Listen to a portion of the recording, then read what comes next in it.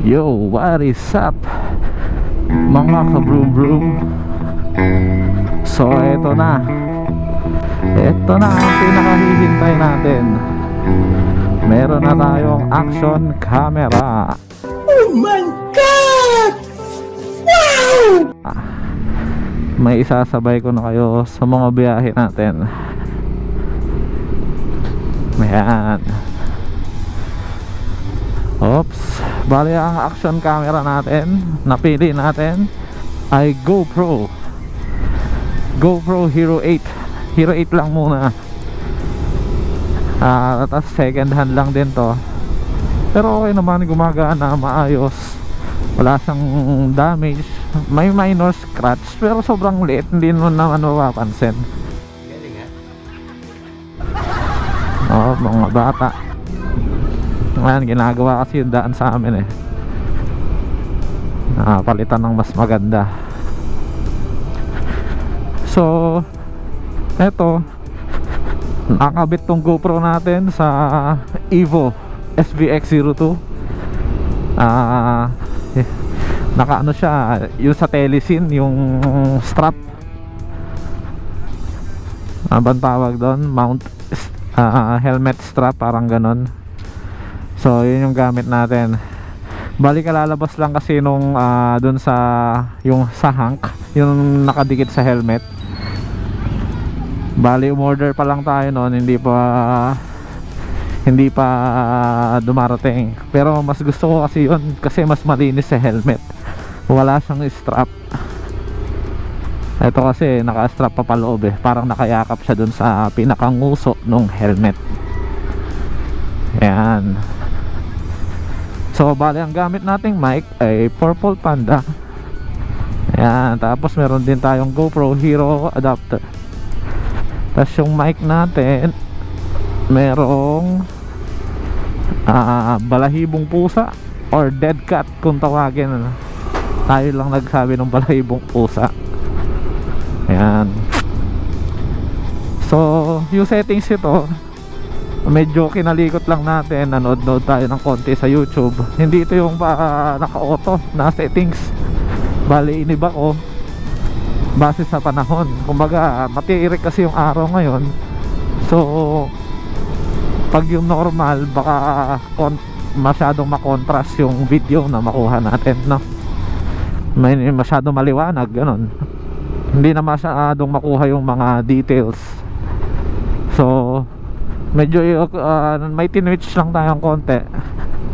So malalaman natin sa editing kung maganda ba yung ginawa natin.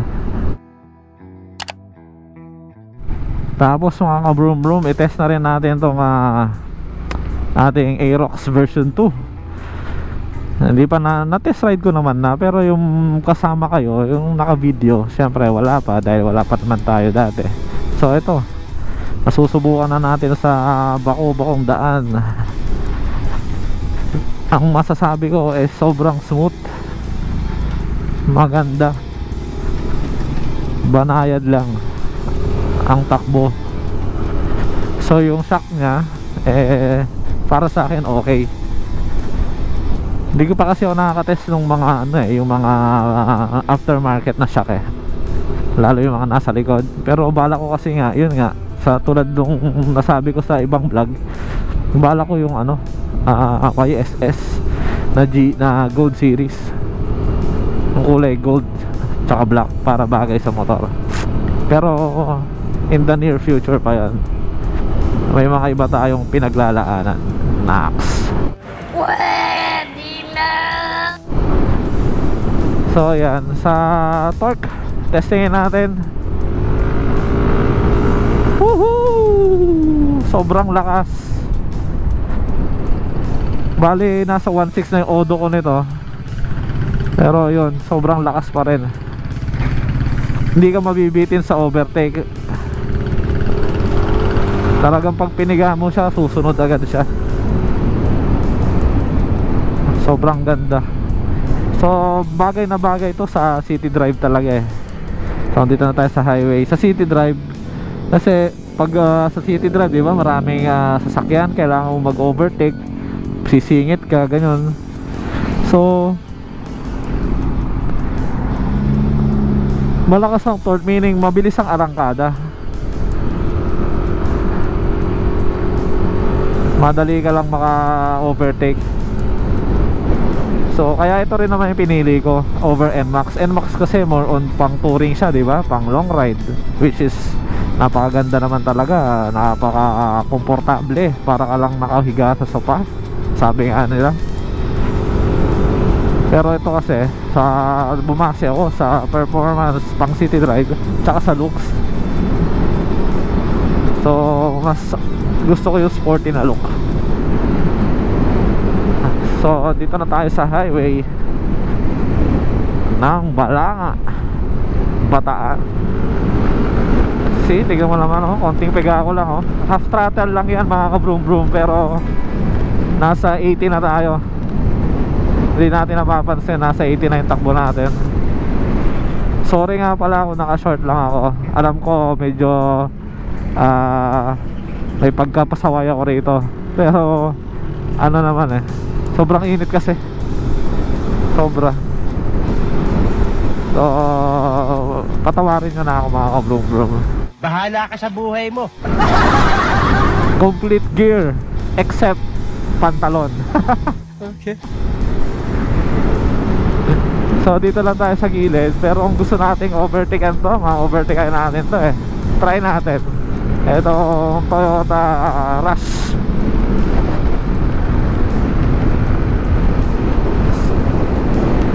See?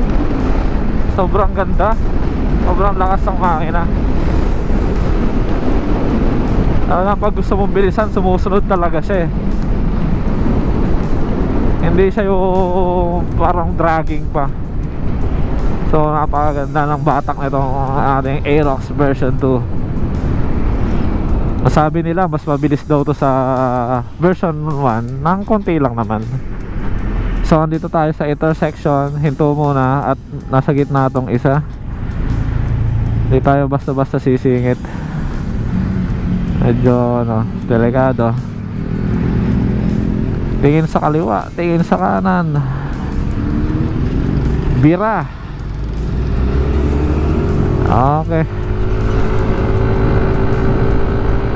So mga broom broom eto na.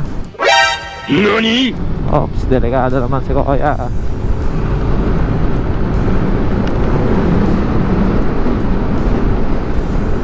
So, naka, naka-upright position ako ngayon. Hindi ako nakayuko. Uh, Nasa 90 Yung takbo natin. Hindi pa to full throttle mga kabrom bro Medyo binobomba-bomba lang natin yan.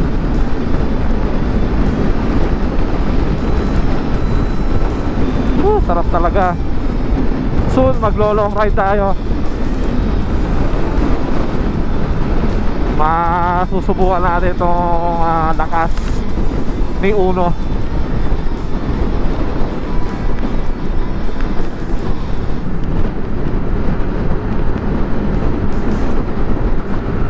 Sa handling sobrang ganda rin. Naku nakapaling pala itong ating uh, side mirror. Galing ha? Yung handling niya sobrang ganda. Madali iliko. Sa gulong naman Pakiramdam ko sobrang kapit. Kahit i-banking-banking to Okay lang. Kasi makapal na Tapos makapit pa yung gulong. Minsan pupunta tayo sa duhat Pero kasi doon parang ma Zigzag eh. Uh, Twisties Kung tawagin. So yun. Tatry natin doon na uh, i-banking banking tong Aerox natin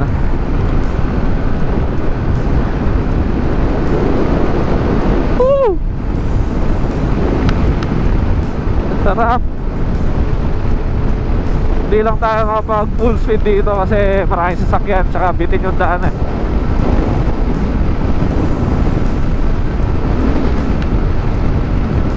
Pero feeling ko nasa 100 na tayo. Tama. Masarap to pag natapos na yung mga daan dito sa Bataan. So yun lang mga kabroom broom ang ating munting saglitang ah, test ride. Unang gamit natin dito sa ating GoPro Hero 8 tingnan natin kung maganda.